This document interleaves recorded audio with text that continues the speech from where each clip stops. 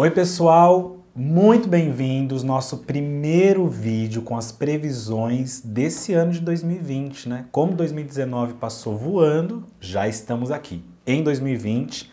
O que resta para a gente agora é fazer desse ano um ano excelente. No astral dessa semana, eu já falei de todos os eventos aí do céu. Então, se você ainda não assistiu, corre, assiste, porque aí você pode fazer uma relação bacana das previsões do tarô junto com o que o astral propõe para gente durante os próximos dias, tá? Já desejei no outro vídeo, mas não custa desejar coisas boas novamente. Feliz ano novo para todo mundo, que seja um ano mágico de felicidade, de saúde, de amor, de alegria, de amigos, de família, de tudo aquilo que a gente precisa para ser feliz, de muito emprego, muito trabalho para o Brasil, muita prosperidade, muita sabedoria para os nossos governantes e muita sabedoria para o povo poder discernir o certo do errado, tá bom? Então, um grande 2020 aí regido pelo sol, né? Olha que ano lindo. Vamos começar então, vou pegar aqui o tarô dos anjos, vou embaralhar. Aliás, se você ainda não fez meu curso de tarô dos anjos online, corre lá na minha plataforma andremantovani.com.br, se inscreva Curso totalmente online, mas com certificado comigo. Você vai poder fazer o curso e aprender como jogar o Tarô dos Anjos, que é baseado no meu livro Tarô dos Anjos também. Bom, então mentaliza aí seu signo, hein?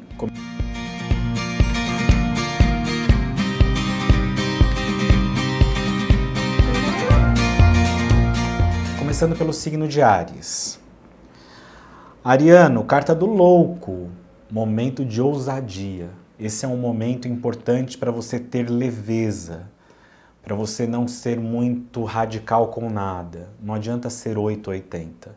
Tem que trazer sua criança interior para brincar no mundo, leveza, descontração. E essa é uma semana que você vai ter que lidar com muitas, uh, muitos imprevistos, instabilidades. Então eu acho que vale a pena você soltar um pouco o controle ir no ritmo das coisas conforme elas forem acontecendo. Mas não é uma semana de estabilidade. Para quem está viajando, excelente, porque a carta do louco fala de viagens também. Signo de touro, a gente tem a carta do carro, momento de direcionamento taurino. Esta é uma semana em que você vai ter mais certeza de onde você quer chegar, o que você quer conquistar e como você quer fazer o seu trajeto. Assuma suas escolhas, não olhe para trás e siga em frente. Pode ser uma semana também de bom desenvolvimento interno, mas também de um desenvolvimento profissional e material. Você vai avançar, você vai chegar cada vez mais longe.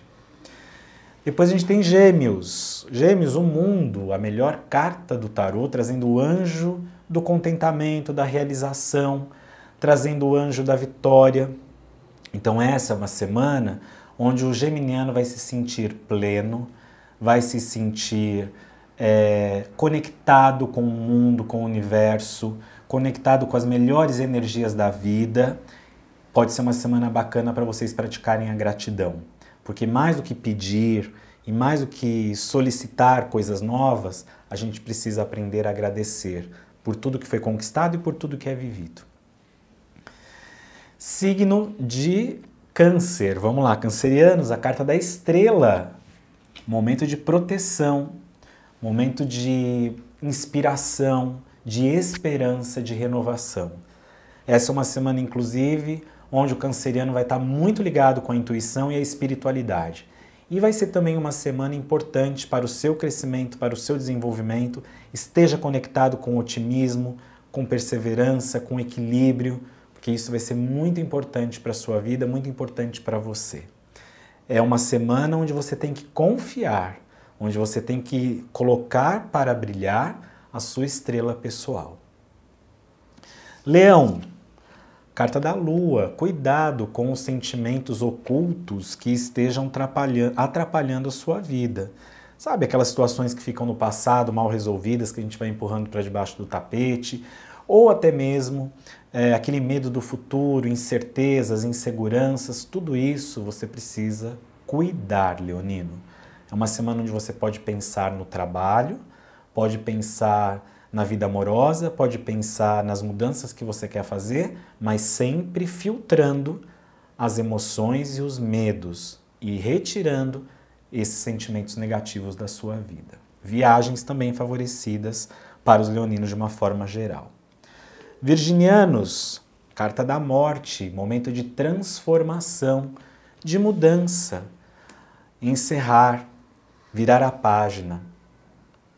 Precisa jogar fora aquilo que não te pertence mais, precisa confiar nas mudanças positivas que estão a caminho para você, esteja disposto a fazer e promover transformações.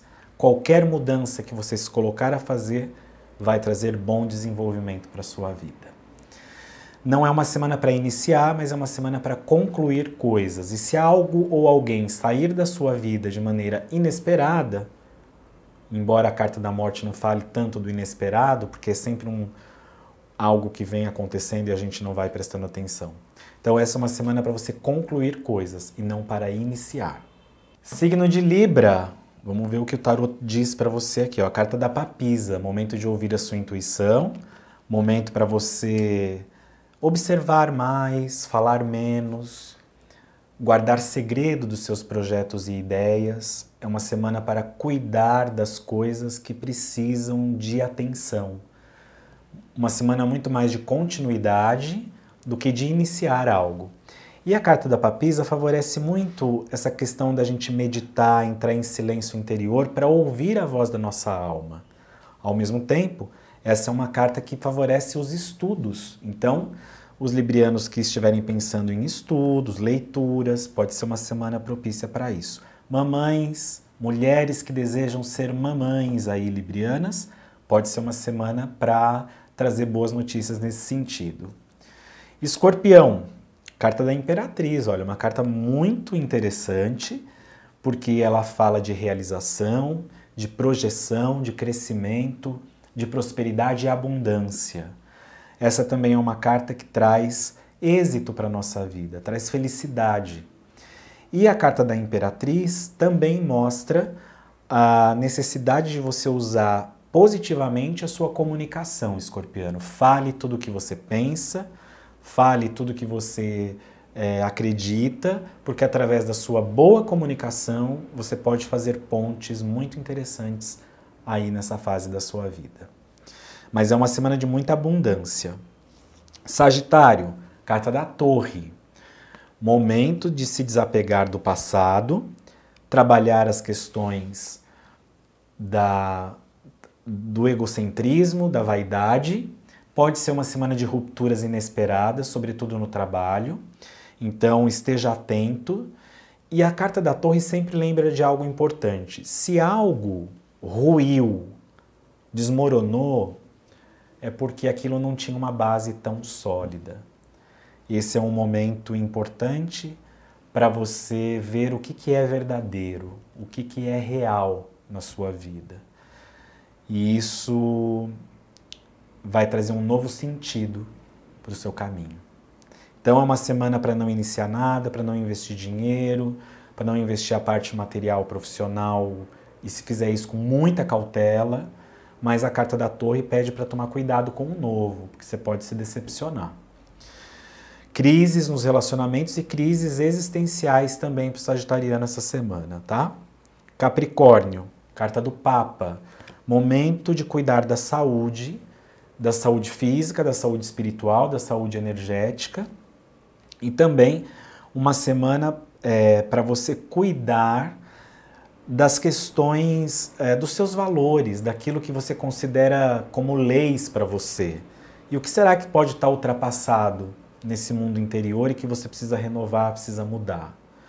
Então, isso também é algo que você precisa ficar atento. Busque conselhos de pessoas mais sábias do que você. Pode ser um amigo, um familiar, um terapeuta, um astrólogo, alguém que possa te mostrar um caminho. Favorece também os estudos, os cursos superiores. Então, pode ser uma semana muito voltada a esses pensamentos e projetos. Depois a gente tem Aquário, carta do Mago, semana de novas conquistas, de novos inícios, novos começos, um novo ciclo sendo anunciado na vida do aquariano, onde depende somente dele e ele vai conseguir vencer os obstáculos, vai ter superação dos problemas, ao mesmo tempo que essa é uma carta que fala de novas conquistas na sua vida, aquariano. Então é, esse é o momento para você inovar, pensar no, no diferente, naquilo que você quer fazer de novo e plantar essas sementes no seu coração, na sua mente, na sua vida. Uma semana muito boa para os aquarianos. E para fechar, o signo de peixes, olha que carta boa, o imperador, trazendo estrutura, estabilidade, progresso, realização. Essa é uma carta que também fala de muito trabalho, de muito empenho, de poder interior para você alcançar coisas importantes na sua vida. Uma semana para você pensar naquilo que pode trazer estrutura para o seu destino, tá bom, Pisciano?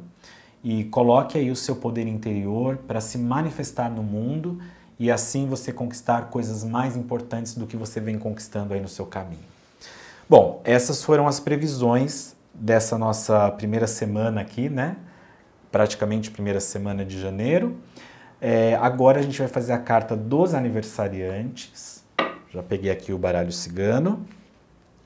Então mentaliza aí, você que está aniversariando hoje ou que vai aniversariar até sábado, vamos buscar uma mensagem aqui para você.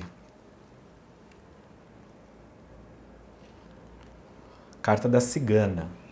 Um ano de muita intuição, um ano de muita alegria, de muito entusiasmo, esse ano para você, que está aniversariando aí ao longo dessa semana, vai ser de muita intuição, onde você vai acessar muito a sua criatividade, seu mundo subjetivo, mas ao mesmo tempo você vai ser firme, você vai ser objetivo nas suas buscas e naquilo que você quer.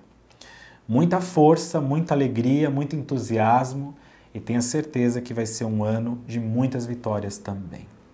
Então, desejo para vocês feliz ano novo, um feliz aniversário e que seja um ano realmente incrível com as bênçãos aqui da cigana na vida de todos vocês. Se você ainda não me segue no Instagram, André Mantovani, lá tem posts diários para você viver melhor.